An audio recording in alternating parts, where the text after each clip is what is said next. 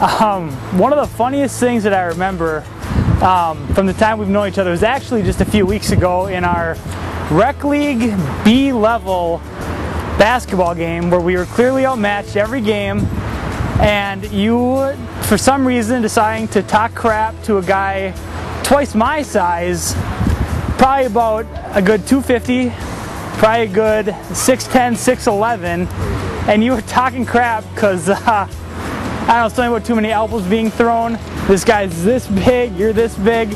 And I, it was so hilarious that you were arguing the ref about it. And I don't know it, it was a, one of the funniest times. I couldn't even control myself on the court.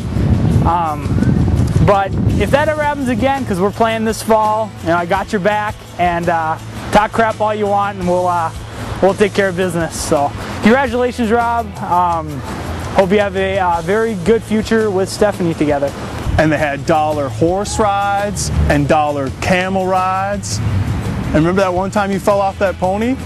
That was just a dollar too. Hey Rob, what's up buddy? Blake here again. I just wanted to let you know first off, congratulations for this day. Now, one other thing that I thought was just absolutely fantastic, just thought of this, you and I used to play basketball together. It annoyed me so much how you had such an awesome but weird hook shot and you made it every single time. Now I may be tall, I can shoot here and there, but that hook shot got me every single time. But regardless, I still love you, man. So I hope this is a great day for you. And with that, I got your back. Well, Stephanie and Rob, coming from a guy who's been married for 12 years, I have a little bit of advice. Compromise, compromise, compromise. And if that doesn't work, Robert, just admit you're wrong. That's all I've got for you. Uh, good luck and be merry. Robert Stephanie, one more piece of advice. Get at least two TVs. Robert, so you can watch your sports games whenever you want, so it doesn't interfere with Stephanie watching Hallmark Channel or HGTV. I know it's really helped in my relationship with my wife. Now that we've both gotten our separate TVs in our separate rooms, life has been much better.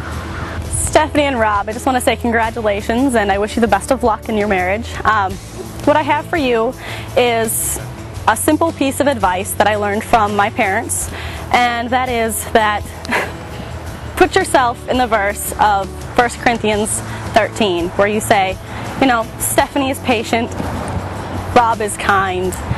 Um, if you put yourself into that, you will learn a lot about yourself and a lot about working better with each other.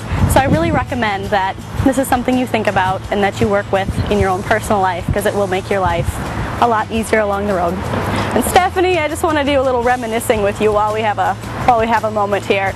Um, I just want to recollect on the days of when we would work overnights together and you would be at the group home, we'd be texting each other back and forth all night long, trying to keep each other awake because we're both bored out of our freaking minds. And, and then we'd uh, start texting back and forth to see who got to go get the morning caribou on our way to class. And, you know, it was always caribou. It was what our morning run was, and it was always the, well, whose turn is it? And, you know, bottom line is, I really caribou about you.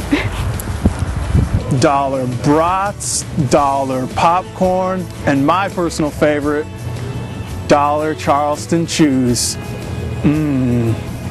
Hi Stephanie, hi Rob, congratulations, I'm so happy for you both. I hope that in 25 years you're as happy as you are today.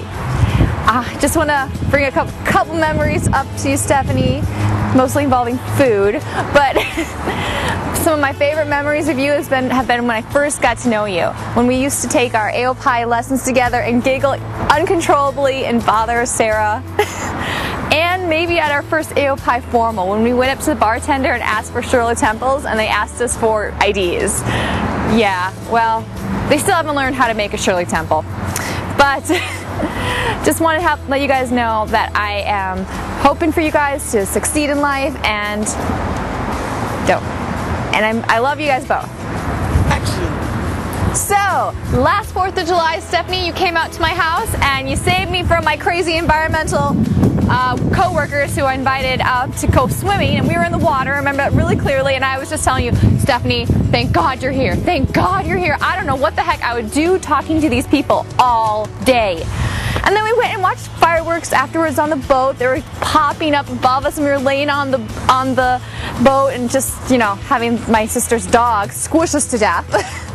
I hope hope you and Robert can come out again this year and, you know, we can make a couple modifications. Maybe not the crazy environmentalist and maybe not the crushing dog this year, but it'll be a lot of fun again. Hey Rob, I just want to say congratulations on your uh, wedding. Uh, hopefully it all works well. Just remember you got to communicate with each other. And for when you do drink a lot, yes, I will make your big bowl of Cheerios. That's all I have to say. Robert, I know you love sports, but uh, remember you do have a wife and a dog now to take care of, so make sure you pay attention to them. Robert and Stephanie, congratulations. Wish you two all the best, and we love you. Hey Steph, hey Rob, how you guys doing?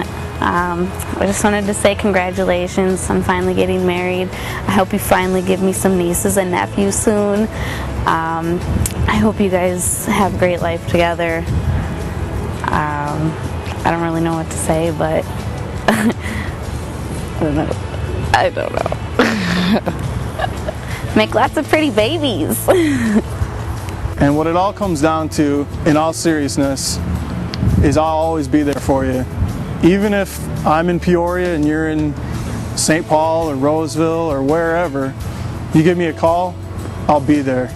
We love the both of you and we wish you wish you well.